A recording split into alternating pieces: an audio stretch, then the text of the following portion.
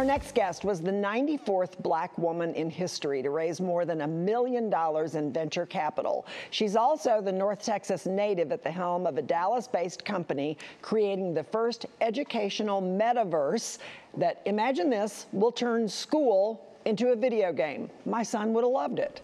Stemuli Studios founder and CEO Taylor Shead is here to tell us more. Good morning, son. Great to have you in the studio. Good morning, Jane, and good morning, Texas. Ah, I read all about you and I'm so impressed. What is Stemuli?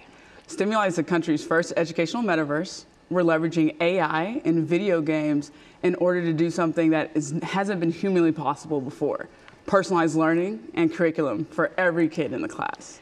Okay, you're you're way beyond me, right, even right now. But so a little bit about you. You were born and raised in Plano, the youngest of seven kids. Went on to be a Division One athlete. Went to Loyola Marymount in Los Angeles.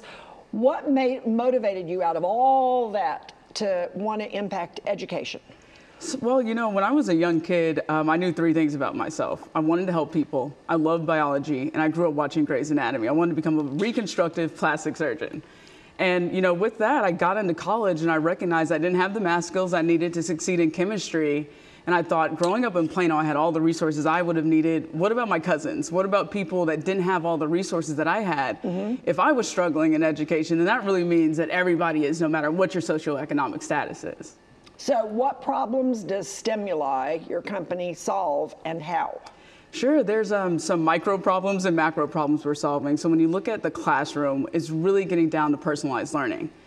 In the classroom, you know, we're teaching the same math problem to every kid and expecting everybody to absorb it the exact right. same way. But in order to increase learning and increase engagement, you really have to personalize it to what a kid loves, to what they care about in their career, what their future aspirations are. So that's the problem that fixes within the classroom. And when you look at the macro problem, right now we have a problem with workforce development in our country. And so what we're doing is we're working with K-12 students to get them really inspired about their career and getting them excited about the skills that they'll need to develop and ultimately helping them prepare for the workforce. You got some big ideas. That's all I can say. So how's the game work? So you step into our game, and we first have a conversation with you and an avatar to say, you know, what are you interested in? What are your favorite brands? What are you passionate about? And then we analyze what are you supposed to be learning in school? Is it algebra? Is it geometry? And then we create a personalized learning quest in this video game that's tailored to exactly what you want to do. Wow, I am looking at it and I can imagine how kids would be fascinated by this. So, how has the platform improved the learning experience for students that you know of so far? Certainly. So, um, the first thing you have to think about is only 25% of our eighth graders are proficient in math, and I know that's a shocking statistic. Wow. But on our platform, we saw that 93% of kids were reaching mastery in math. And that's just something that's unheard of. And then on the workforce development side, when you're talking about high school students using our platform to prepare for internships and apprenticeships, those high school students have been able to get jobs working for Fortune 500 companies right out of high school, making sixty and seventy thousand dollars a year, wow. and that's absolutely transformational. Absolutely. Um, so Dallas isn't really. I mean, we have some tech here, but you moved here from California, which is a real tech hub. Why? Why'd you come back here? You know, I care about my local neighborhood. My dad gave me a call and said, you know, Taylor, when I moved my business from Los Angeles to Dallas, it just really took off.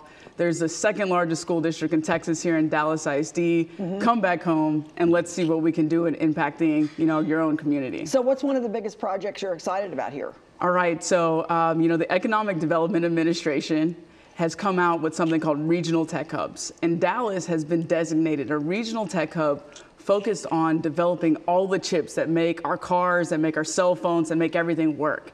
And so Stemuli is partnered with SMU and all the other higher education institutions and Texas Instruments in order to say, how can we build a digital learning hub and workforce development center that will be available to everybody in the community. So what am I excited for?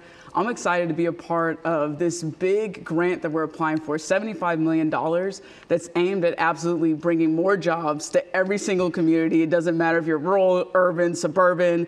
We want to bring opportunity to everybody at the exact same time. You're doing some really good work. If somebody wants to find you to learn more about what you're doing, if they uh, are interested in investing, whatever, how do people find you? All right, I'm going to give everybody my email address. It's taylor at stemuli.net or you can reach out to us on social media. My personal social media is MISS Taylor Shead or Stemuli Studios.